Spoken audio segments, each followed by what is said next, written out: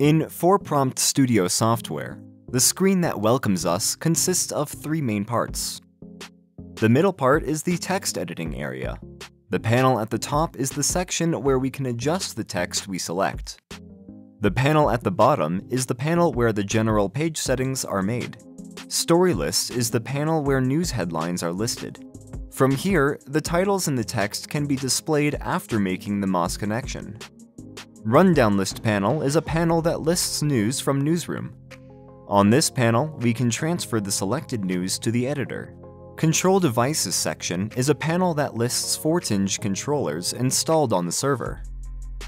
From this panel, we can see the characteristics of the controllers such as battery, gravity force, availability status. Engine Control Panel has Prompt, Start Text Scrolling, Stop Text Scrolling, Update, Go to selected header buttons. Speed panel includes the bar where the text flow rate is set, speed up, speed down, scroll to the top of the page, scroll to the bottom of the page, and previous news, next news buttons. Preview panel provides a preview of the image on the engine screen. From this panel, we can follow the engine screen instantaneously. We can send a message to Engine from the Spot Message panel. Studio connections are made with Engine from Engine panel. Different engines can be managed remotely over IP on the network. The monitor to display the engine screen can be selected. Edit screen. Now, let's get to know the edit screen. From this panel, we can create new text or import ready-made text.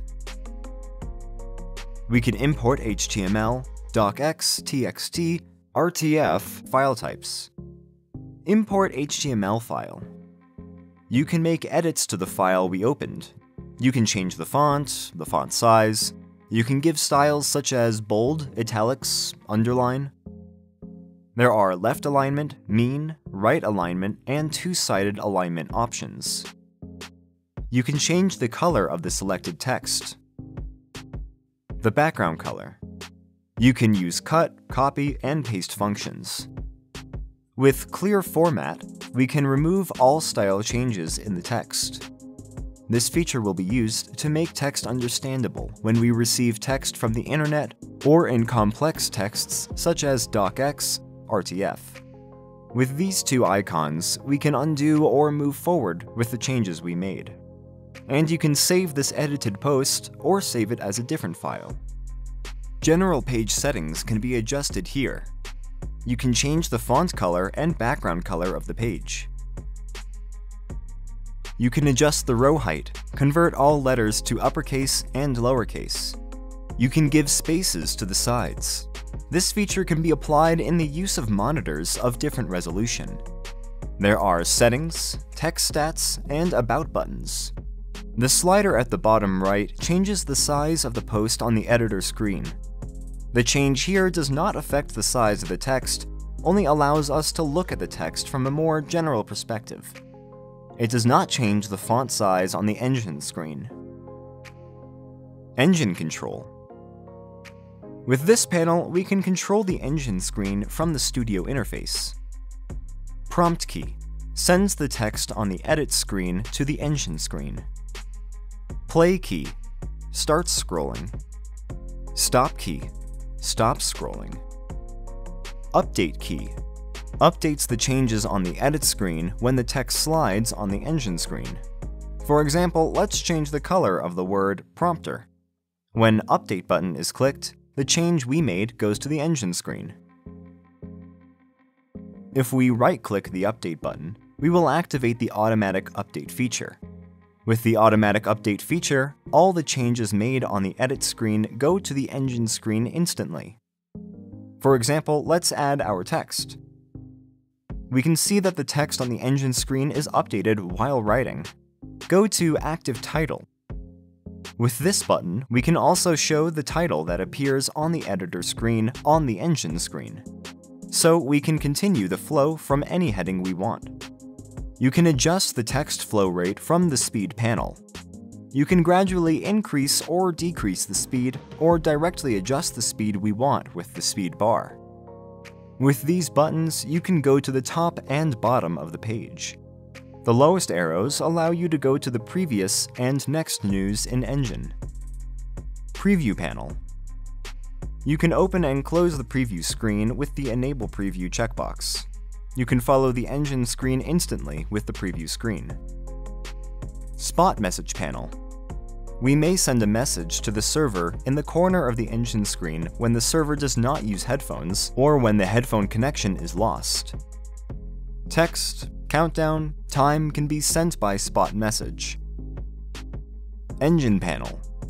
ForPrompt Studio has the ability to control different engines on the network thanks to its working principle with IP-based server-client architecture. An editor can manage multiple engine screens. Here you can choose which monitor to send the engine screen to. MOS. Now let's move on to MOS integration. ForPrompt Studio software runs on all MOS versions. Let's send rundowns from MOS Newsroom. Rundowns are not listed in the rundown list section. From here, we view the titles of the newsletter we want and transfer the text to the editor. The following auto update is active warning indicates that the control is in the newsroom. If we make changes to the edit screen, these changes will appear until the data comes from the newsroom. Let's load different rundowns. We can see the speaker's name in red background color. You can view the news by double-clicking on the newsletters in the MOS Text Sources panel. Story List panel. The active rundown titles on the edit screen are listed here. The titles that appear active on the edit screen appear in green in the story list. You can go to the title by double-clicking on the title we want on the edit screen. Let's install a rundown from iNews. Our iNews link is currently active. ForPrompt Studio News works in Avid iNews compatibility. Control devices. Our control devices can be used as plug and play. Let's put the controller on PC. You can connect as many remote controllers as we want. Controls can be operated simultaneously. RF and jog controllers are listed. Since the RF controller is a wireless controller, you can see the battery and traction power status on the control devices panel. In the status column, the command sending the command lights green, the command not sending command lights yellow, and the standby control lights gray. Contour shuttle devices, foot switch, and pen mouse also work. General operation IP-based control. It has the ability to control different servers on the network thanks to the infrastructure running with server-client architecture. An editor can manage multiple engine screens. Multiple editors can be connected to an engine screen simultaneously. Multiple language support is available, Let's turn on RTL for the languages written from left to right Arabic, Chinese. Let's send the text to the engine screen. Licensing. Enter license menu from key icon. The license key is entered in the serial key section. The company name or individual name is entered in the organization or name section. The first three sections are compulsory fields. Country, city, and phone options are optional. Here is a This license will apply to this computer warning. So the activated license can only be used on this computer until it is removed from the activated computer. Press the Register button. A Registration Complete Restart Program warning has been issued. Let's restart the program. When the program is restarted, we can see from the license menu that the program is licensed and has a news plugin.